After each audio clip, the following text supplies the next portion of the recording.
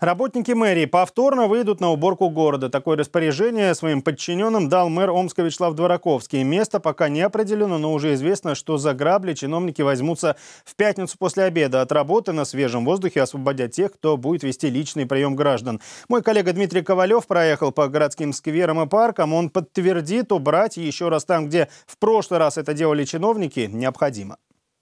В 2013 году мы, мы за 10 дней справились с за мешком. Да, сейчас ставим задачу за 3 дня управиться. И удастся меньше, значит, будет еще меньше. Но 3 дня это должно быть э, таким обязательным и ответственным мероприятием.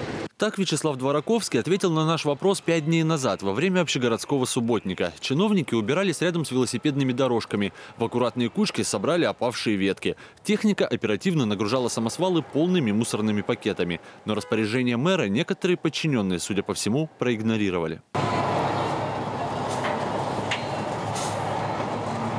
Парке «Зеленый остров», там, где убирался мэр, черные мешки, ветки и листва лежат все теми же аккуратными кучами. Их не убрали даже с центральной аллеи. А на газонах вновь мусор. В советском парке чисто только на входе. Ближе к реке пустые бутылки и полусгнившая бумага. Рядом на проспекте Культуры вывести собранный мусор тоже забыли.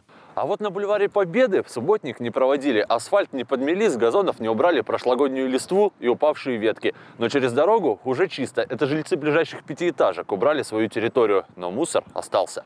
Печальные картины и в небольших скверах. Там, судя по всему, не убирались вообще. Хотя 22 апреля на призыв городской администрации отозвались почти 100 тысяч мечей. Все они пожертвовали утром выходного дня и вышли на уборку. Через день мэрия отчиталась. Из Омска вывезено 11 тысяч кубометров мусора. Остальное пока так и остается на улицах. Если до конца месячника чистоты ситуация не изменится, возможно, в следующем году тех, кто выйдет на улицы, чтобы сделать свой город чище, станет значительно меньше. Дмитрий Ковалев и Павел Ходынский. Новости здесь, Омск.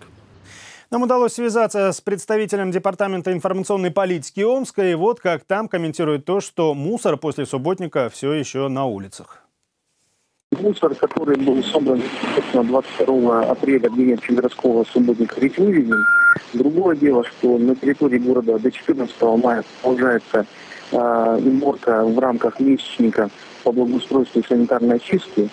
И, соответственно, работы проводятся дополнительно ежедневно. Ну, завтра, например, муниципальные служащие выходят на пятничники и также убирают э, ряд э, проблемных территорий.